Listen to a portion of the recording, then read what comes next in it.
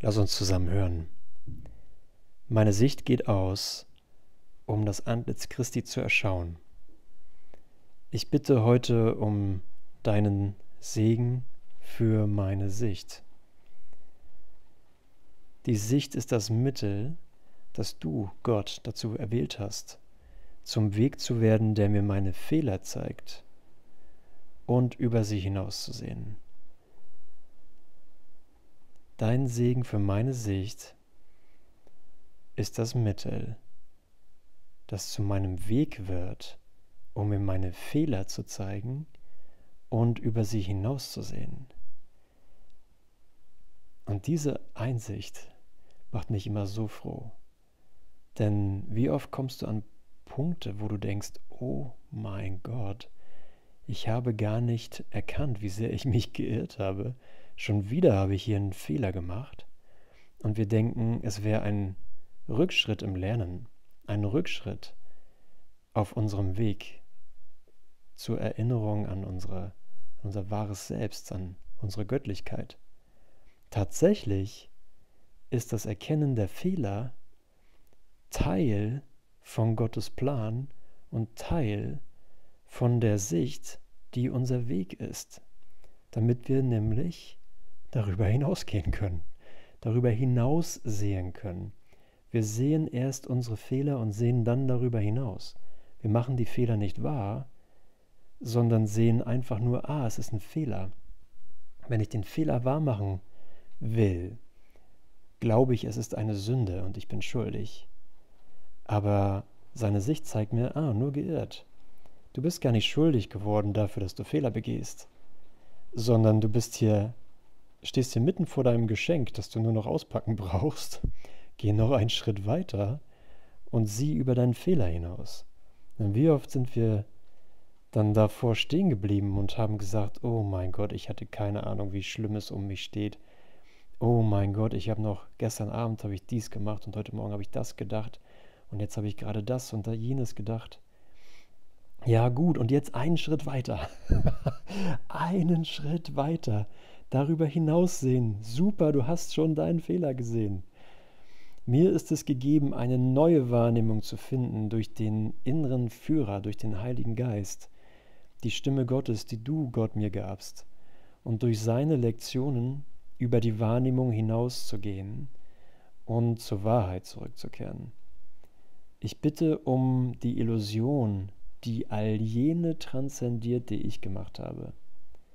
Vergebung ist eine Illusion, aber sie führt nicht zu weiteren Illusionen, sondern sie transzendiert all jene, die ich gemacht habe.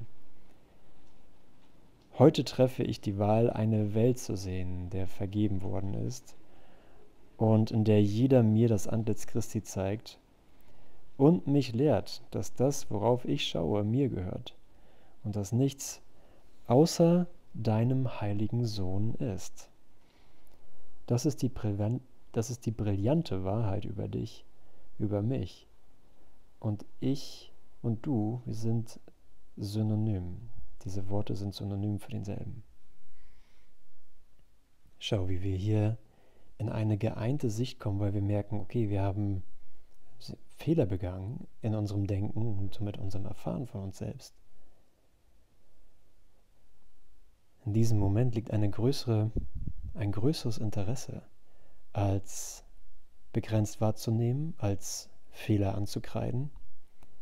Und das Interesse ist, schau, wie dein Geist gegenwärtig gewandelt wird durch das Licht, das das Sprachrohr von unserem Papa hier in unseren Traum trägt, um zu zeigen, es ist wirklich ein Traum.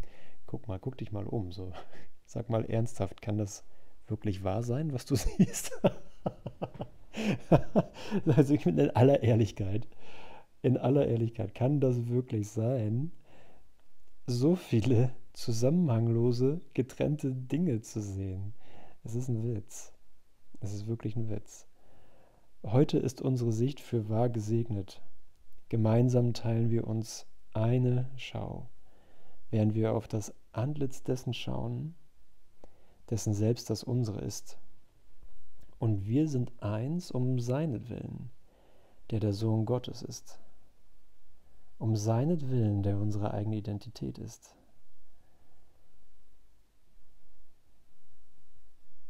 Und einfach nochmal durch den doppelten Boden durchgehen. Einfach nochmal durch das Sicherheitsempfinden, das unsere Welt zusammenzuhalten schien.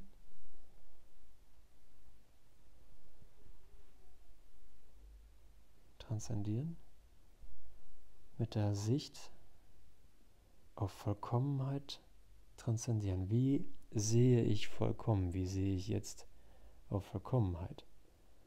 Einfach indem du denkst, meine Sicht geht aus, um das Antlitz Christi zu erschauen.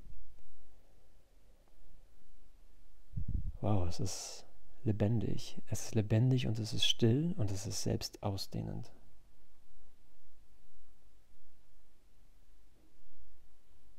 Wir sind eins um seinetwillen, der der Sohn Gottes ist, um seinetwillen, der unsere eigene Identität ist. Und vielleicht hast du irgendwie viele Ideen, wie du dich hier noch aufhalten kannst und sagst, okay, ich kann mich aber noch häuslich einrichten, indem ich einfach die richtigen Dinge tue, den richtigen Lebensstil. Ich habe, ich mache einfach die Dinge, die mir Spaß machen. Mein Einkommen stimmt, meine Tätigkeit stimmt. Meine Beziehungen stimmen, meine Aussicht auf die Zukunft stimmt. Ich freue mich auf alles, was kommt. Lassen wir die Brillanz zu. Guck mal, schon wieder ein neuer Moment.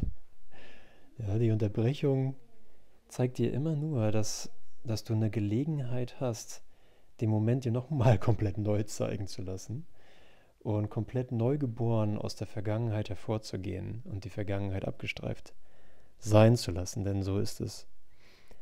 Jeder Moment ist eine brillante neue Wiedergeburt deines Seins. Und obwohl dir das sehr bekannt ist, ist es dennoch ungewöhnlich, sich darauf zu fokussieren und zu sagen, so ist es. Guck mal, so bist du gerade gestorben? Du hast es versucht. Aber hier bist du wieder. Mit jedem Urteil, mit jeder Idee, dich als Körper zu sehen, mit jeder Idee, Groll zu hegen oder Mangel zu denken oder Stress zu denken, glaubst du zu sterben. Und wieder bist du hier. Wieder bist du hier und wieder bist du hier. Lass uns eins und eins zusammenzählen und anerkennen, was die Wahrheit ist. Die Wahrheit lässt dich nicht sterben. Und es gibt nichts anderes, was dich beeinflussen kann oder was dich ausmacht. Also lassen wir die Gedanken von Mangel, von Fehlerhaftigkeit, von Unvollkommenheit sein, weil wir nicht anders können. Du kannst nichts dafür, dass du Christus bist. Du kannst nichts dafür, dass du vollkommen bist. Du kannst das auch nicht verändern, egal wie krass anders du darauf bestehst, das nicht zu sein. Also gehen wir in eine neue Referenz, die jetzt immer ewig ist und wir seinem Willen komplett die Kontrolle überlassen, weil darin alle Dinge erneuert werden, weil darin unsere vollkommene Freiheit liegt und du freigesprochen bist von jeder Anklage, die du dir selbst auferlegt hast oder die du von außen auf dich blicken sahst. Ja, von, keine Ahnung, wer auch immer da sein könnte. Zum Beispiel ein Nachbar oder ein Ex-Partner oder ein Kind oder Eltern oder ein Kollege, Kollegin. Irgendwer, der dich blöd angemacht hat oder den du blöd angemacht hast. Ja, all das liegt in der Vergangenheit und sie ist vergangen. Und wenn du irgendwo was zu klären hast, dann klär das. Wenn du dabei Hilfe brauchst, bitte Jesus um Hilfe und er schickt dir welche. Genauso wie du sie brauchst. Genauso praktisch konkret, wie du es annehmen kannst. Und das ist das Coole. Ich bin sehr dankbar für unseren Bro, für unseren älteren Lichtbro, Jesus Christus, der uns daran erinnert, dass wir der Christus sind. Ich segne dich. Wir sehen uns jetzt.